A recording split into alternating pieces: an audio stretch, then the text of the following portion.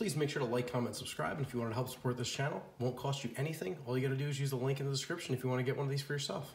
Hey, what's going on? Rich back with another awesome video for you. Just picked up a Western Digital Blue SSD solid state hard drive, and this is awesome because it's a totally different SSD than you're used to. This is actually an M.2 drive which means it screws right down to the motherboard and it plugs right in on the bottom. With this, you could actually put your operating system and whatever else, all your other files. So everything will be coming right off of the SSD, making it incredibly fast. So this has speeds of 550 megabyte read and 525 write. Here it is. Literally as thin as a stick of gum, just about the same size as a piece of gum.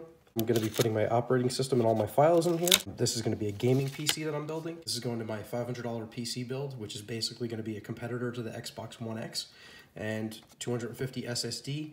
Not going to be as big as the smallest hard drive that comes in the Xbox One X, but it is going to be 10 million times faster. Uh, that's just, a, you know, my scientific number there. I calculated that in my head.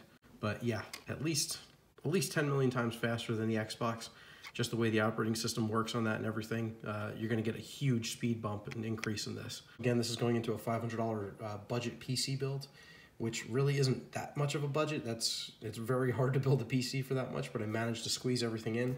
And on top of it, get an M.2 SSD, which I'm so, so ecstatic about. I couldn't believe I was able to afford getting this within the 500 range definitely would recommend something like this for your first starter hard drive. And then if you want, you can get the spinning hard drive or you can just get another SSD to store all your files or games or whatever you're putting on it. In case you want to check out the prices and pick one of these up for yourself, I highly recommend it. The links are down in the description.